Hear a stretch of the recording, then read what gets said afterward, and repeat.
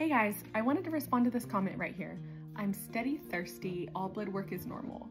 So polydipsia is the medical term for excessive thirst. You are constantly drinking, taking in fluids, but you can't seem to get enough.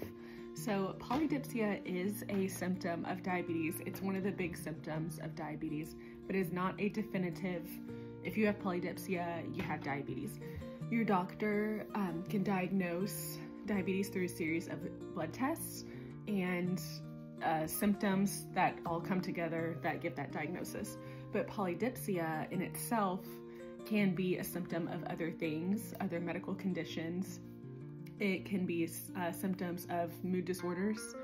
It is uh, fluid loss, so it's your your body's telling you that you need more fluid, so you may be losing fluid through excessive sweating and you're not replenishing fluid. You may not realize that you're sweating as much when exercising.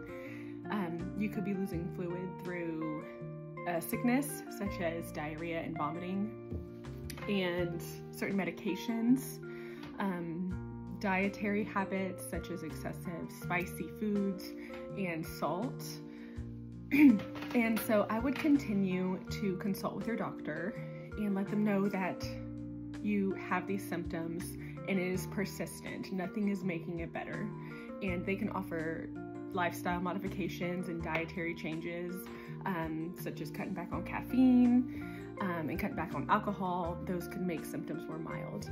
Your doctor could also prescribe you some medications that could help make symptoms more mild. Um, but I would continue to talk with your doctor and seek answers for yourself and advocate for yourself and let them know that this is a persistent thing. Okay, I hope this helps.